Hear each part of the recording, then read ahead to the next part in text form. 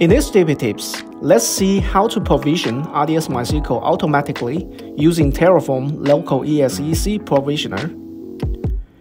If you want more about Terraform fundamentals with Alibaba Cloud Database, please scan the QR code for GitHub projects with more information. Especially for more information about the Terraform local-exec Provisioner, please refer this official document so this demo will show you how to pull up a RDS MySQL database and provision it automatically just in a single Terraform script. You just need a machine with internet connection. When running the Terraform script, the first step will create an RDS MySQL database instance, which is initially set up without provisioning. Then the second step is gonna to execute local-exec provisioner to do the provisioning action such as create table, grant privileges to the database accounts.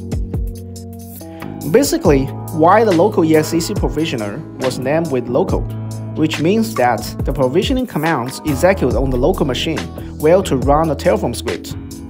So in this demo, needs to make sure that the MySQL client has been installed on the local machine.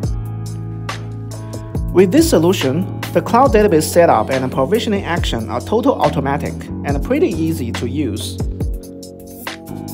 Please scan the QR code to get a Terraform script of this demo. Now, let's see the demo.